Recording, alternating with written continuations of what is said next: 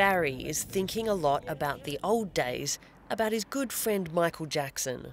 I had a great relationship with Michael. You know, we had some amazing moments. He would always say, you know, things like, you know, watch out. Watch out, Barry. Barry, they want your music. They're trying to get my music.